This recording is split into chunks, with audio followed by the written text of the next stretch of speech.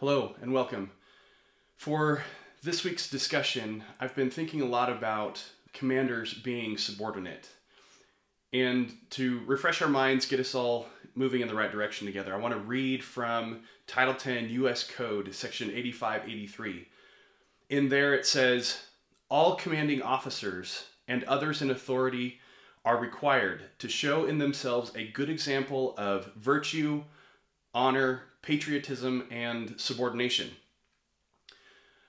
I think we can all understand and agree upon the first three requirements virtue, honor, patriotism. Yet, as Reed pointed out in this week's episode, subordination is an interesting idea when you think about a commander. It isn't something that you often think that a, a commander is someone who is subordinate. They're the leader of the organization, they're the figurehead. They are the ones who decide what takes place. They are the commander. Even so, I think that in recent events, the chairman of the Joint Chiefs, General Mark Milley, he provided an example that helps to demonstrate the idea of subordination in a commander.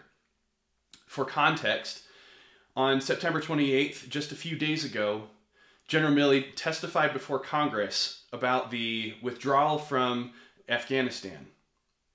When questioned by Senator Cotton, the senator asked General Milley why he didn't resign over the president's decision to not leave a small footprint there in Afghanistan. And the general replied, It would be an incredible act of political defiance for a commissioned officer to just resign because his advice was not taken. And then he continued to say, This country doesn't want generals figuring out what orders we're going to accept and do or not. That's not our job.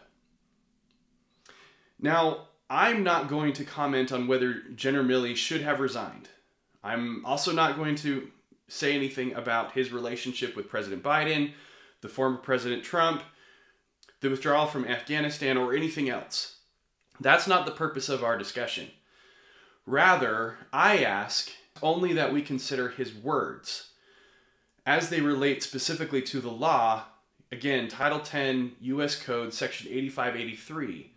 All commanding officers and others in authority show in themselves a good example of subordination. So I ask the question Does the country want generals, commanders, and others in authority figuring out what orders they're going to accept and do or not? Why or why not? I'm very interested to learn from your thoughts, have a positive, constructive discussion about this topic so that we can all get smarter together. Thank you.